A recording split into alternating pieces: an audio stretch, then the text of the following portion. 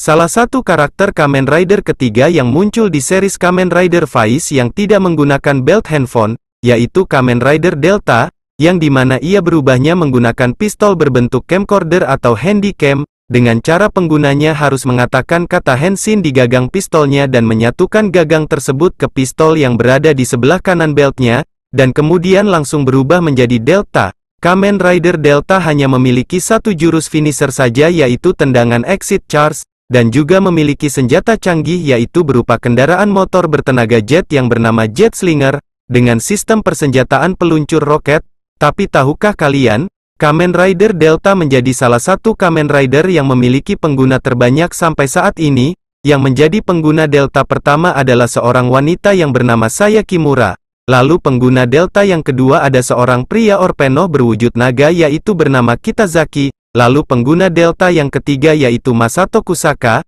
yang sebelumnya ia adalah pengguna dari Kamen Rider Kaiksa. Lalu pengguna Delta yang keempat yaitu Shuji Mihara, yang di mana ia menjadi pengguna Delta utama sampai di akhir episodenya. Lalu pengguna Delta yang kelima yaitu sang protagonis utama dalam series ini yakni Takumi Inui, yang sebelumnya ia adalah pengguna dari Kamen Rider Faiz, lalu pengguna Delta yang keenam yaitu karakter wanita kedua yang bernama Rina Abe, Lalu pengguna Delta yang ketujuh yaitu manusia berwujud Rose Orpeno bernama Kyouji Murakami. Lalu pengguna Delta yang kedelapan, yaitu karakter wanita ketiga yang bernama Smart Queen, yang muncul dalam series Kamen Rider Outsiders. Lalu pengguna Delta yang kesembilan atau yang terakhir yaitu bernama Hisao, yang muncul dalam movie terbarunya Kamen Rider Vice yang berjudul Paradise Regain.